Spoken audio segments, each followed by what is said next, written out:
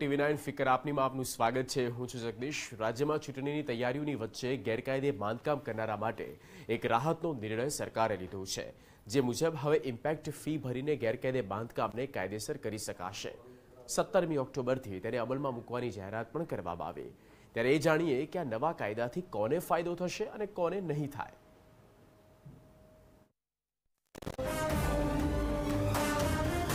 ગેરકાયદે બાંધકામને કાયદેસર કરી શકાશે. રાજ્ય સરકારનો મહત્વનો નિર્ણય. ગેરકાયદેસર બાંધકામ પર ઇમ્પેક્ટ ફી લઈને કાયદેસર કરાશે. ગેરકાયદેસર ઇમારતોને દંડવાને બદલે હવે કાયદેસર કરાશે.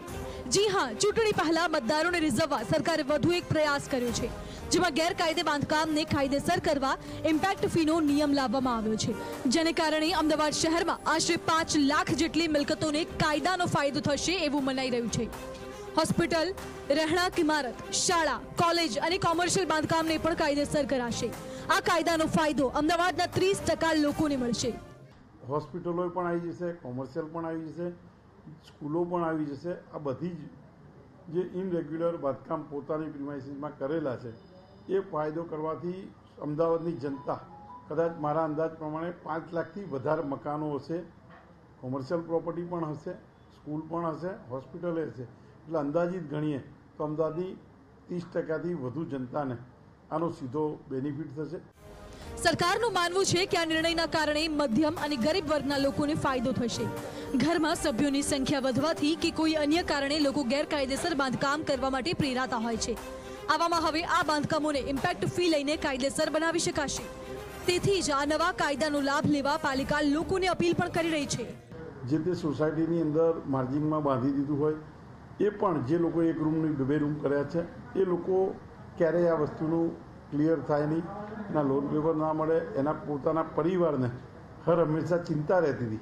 એ રાજ્ય સરકારે આ નિર્ણય કરવાથી ગુજરાતની જનતાને અને હું તો ખાસ કહીશ કે મારા અમદાવાદ શહેરને ખૂબ મોટા પ્રમાણમાં જે કોઈના ઘર છે, જેના માલિકીના ઘર છે, નહીં સરકારી જગામાં સરકારી જગા ઉપર કોઈનું બાંધકામ હશે, એને રેગ્યુલાઇઝ નથી થવાનું. પોતાની સોસાયટીમાં પોતાના પ્લોટમાં પોતાના સાત બારમાં, પોતાના રેવન્યુ રેકોર્ડ ઉપર હશે. એ લોકોનો જે માલ મિલકત છે, એ સંપૂર્ણ મિલકતને આનો લાભ લેવો જોઈએ.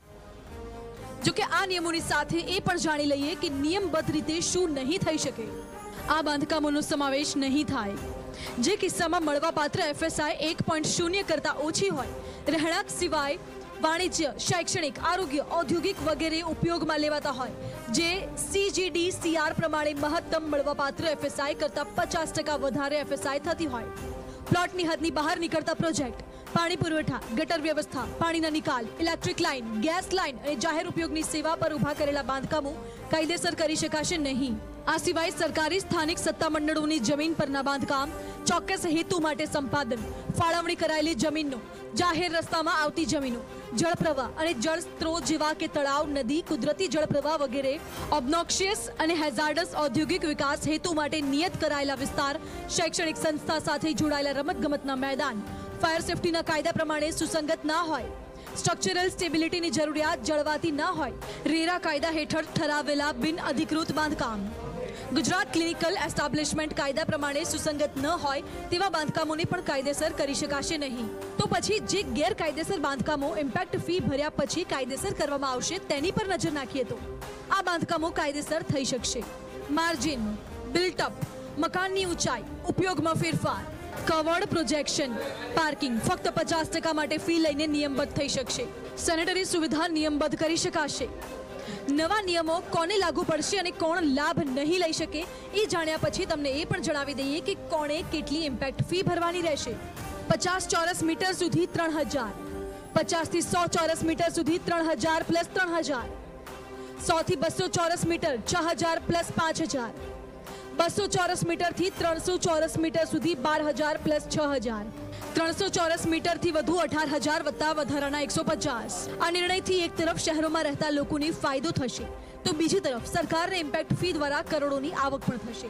જો કે કેટલાક નિષ્ણાંતો એવું પણ માને છે કે ઇમ્પેક્ટ કાયદાથી ફરી ગેરકાયદેસર બાંધકામને પ્રોત્સાહન મળશે.